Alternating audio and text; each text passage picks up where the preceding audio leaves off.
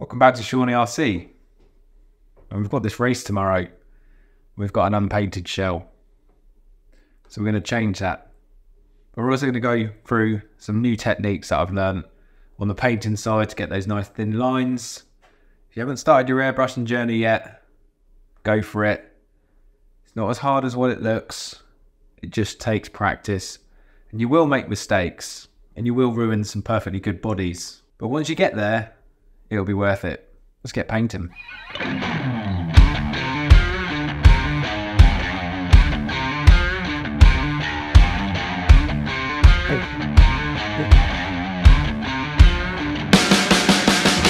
There'll be links in the description for all the items that I'm using. So have a look, all the details will be down below. Let's go. So let's just go over some setup on what I use to paint body shells. Chosen airbrush is the Iwata Eclipse HP CS.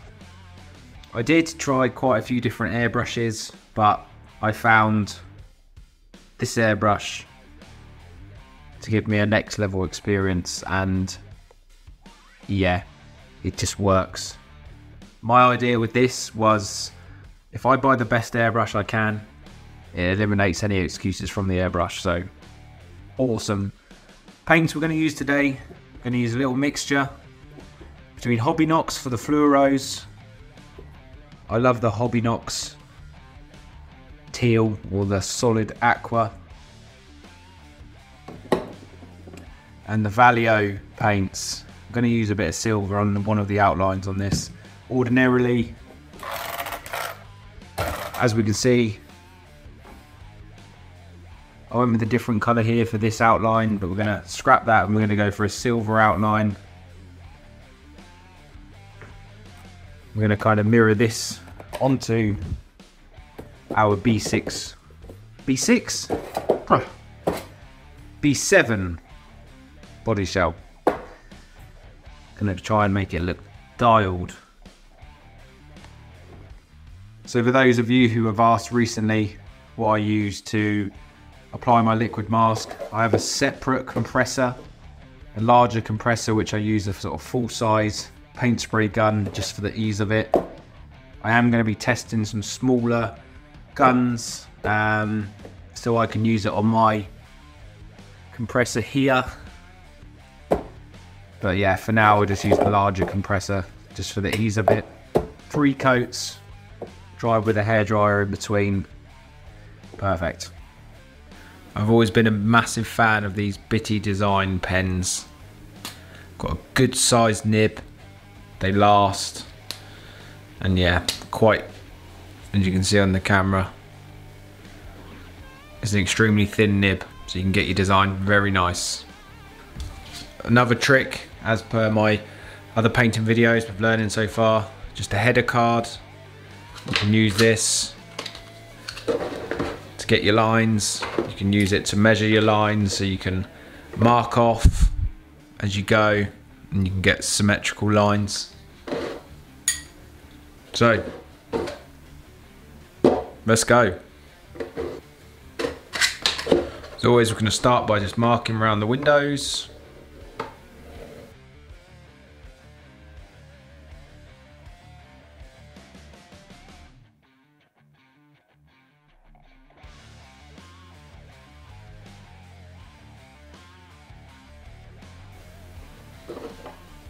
Mark our central line.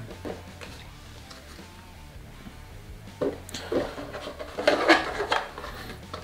then what we can do with our header card is when we're doing the other side to this top roof design, we can just mark off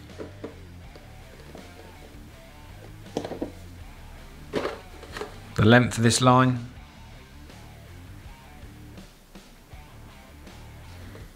copy it across to the other side. Measure the gaps here.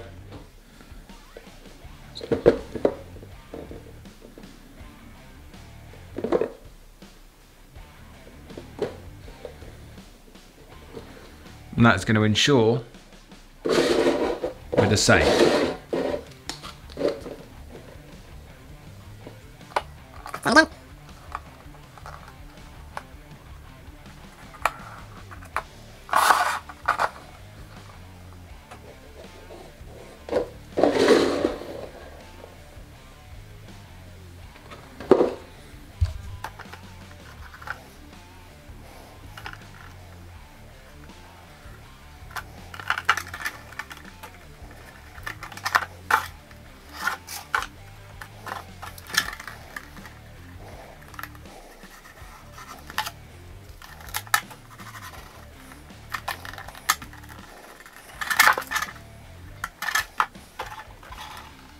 First layer.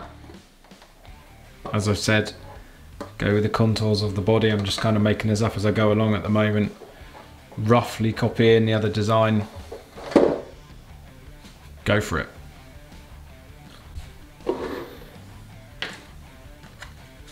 I think this is what makes the designs pop. As I say, I'm no expert, but when you do your second layer, it's going to kind of sit behind the first layer, and that's kind of what makes it pop.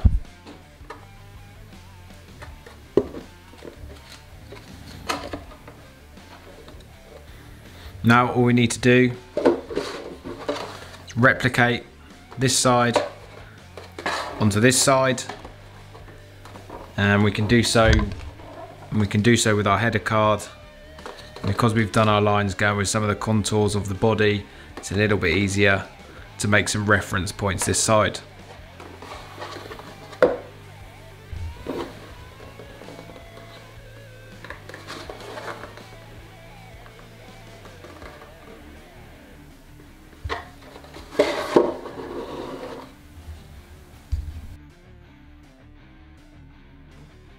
So, you may have noticed that these nice thin outlines here, we haven't marked two pen lines. There's a reason for this because we've got a new technique. What we're actually going to do is we're going to cut with our knife our outline in. And how we're going to do that is we're going to run over all of our markings with a blade, see from the inside. Then once we've done that, we're going to take all the pen off the outside of the shell so all we'll see through here is actually just the cut line. And then when we go in to do our second outline we can go right up against the cut line because we can see it rather than just seeing a pen. We can actually see exactly where the cut line is but it's coming. Hang on be patient. Now before we get back to that let's talk knives you'll find a lot of people use these. And to be honest, it's a good knife. X-Acto, blade. I've got one of them. I've got a cut down one. But particularly for the lines that are a little bit straighter, I always revert back to just a standard bare Stanley blade. I just find I can get the straightest cuts with this, but this is all personal preference. This really is personal preference. I think if you can learn all your cutting with one of these, I think you're going to be in good stead. I tend to cut it one down so I can get inside of windows and things like that and tight areas. And that's quite good. Certainly most of my cut work I actually do with one of these. Let me know what you use. Let me know what you've tried and give it a go.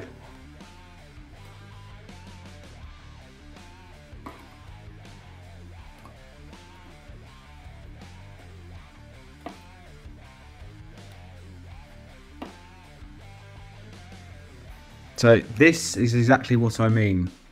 Pen marks are now gone, so we are just left with the single cut lines. So when we do our next cut line from the inside, we are cutting right up against our line that's already in there.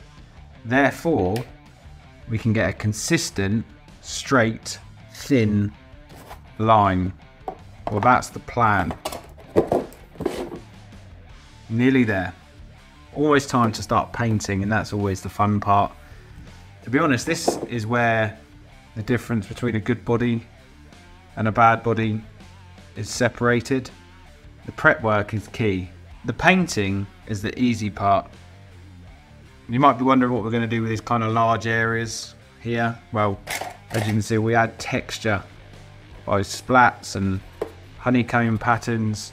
What that does is it adds a little bit of depth and a little bit of contrast and I think that really makes the body shell. So that's what we're going to do in the pink area which is going to be here, in the teal, then we have a fluoro yellow and then possibly a silver outline. I haven't quite decided yet. I'm thinking silver, Vallejo or maybe the gunmetal again. I don't know, but what I do know is got to get this body ready.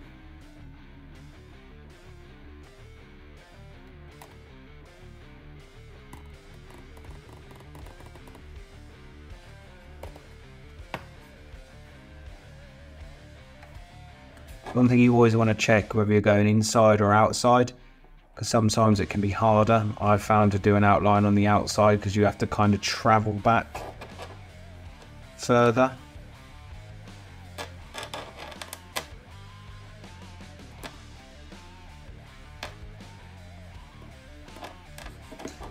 As you can see, because you can see where that first cut line is,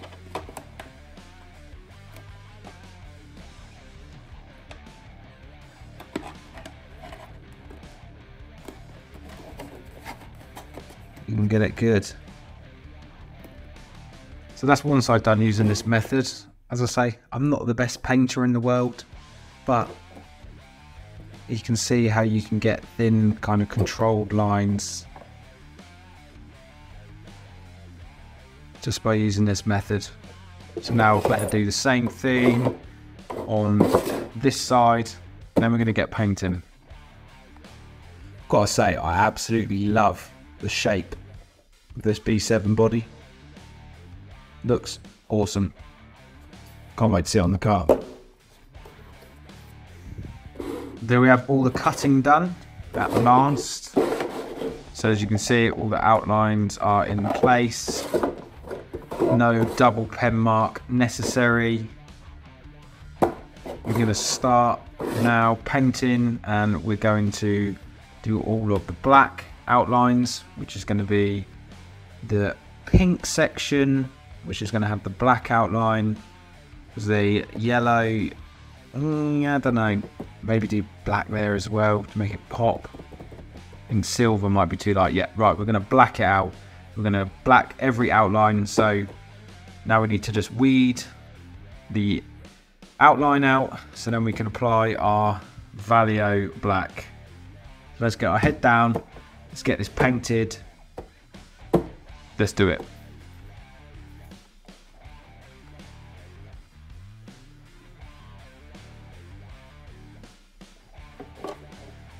So that initial two coats of black is done. Next, we're going to do the next darkest color, which is going to be the teal. So this is going to be this back section here. So we're going to peel this mask off. But before we put the teal on, we're going to do the texture and the patterns and the, the splatters and things like that because obviously we've got the black and then while we've got black in the airbrush we can obviously get this done now. So let's just unpeel this and get this black texture done.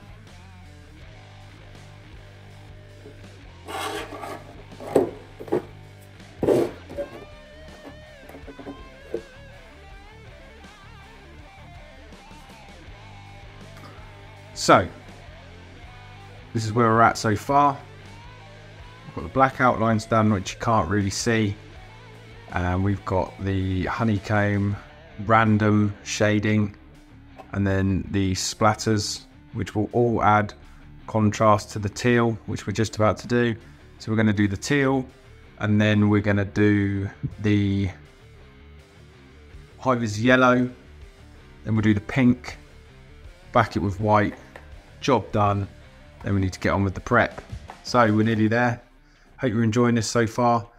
I'm not the best painter in the world, but I'm just showing you with a little bit of practice, you can get something that's kind of semi-usable to a, to a point.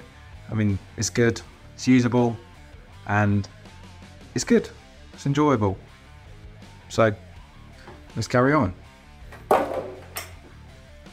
Teal complete. I love this colour so much.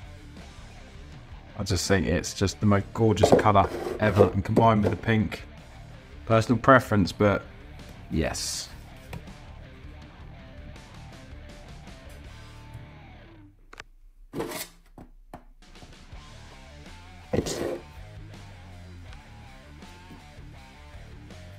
Fluoro pink. Let's go.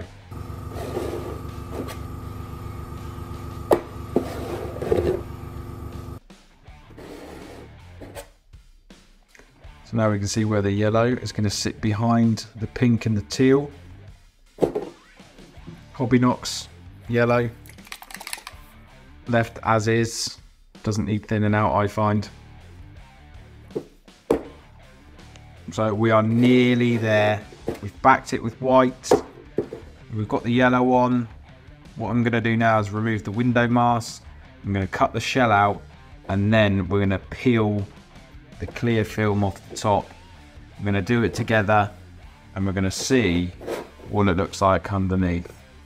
Overall, looks okay for now. I wish you I see there, but hey, let's do the unveiling shortly. Just get these masks off. Okay, so other than tidying up the front with the Dremel, just giving it a bit of a rough cut. Let's see what we're left with.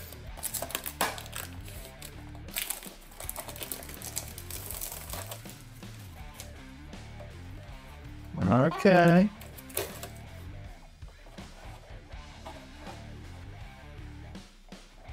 That's all right. Quite happy with that. Pink's a little bit faded. I've not quite put enough pink fluoro on, but that is quite a hard colour to get right. But for the most part, quite happy with that.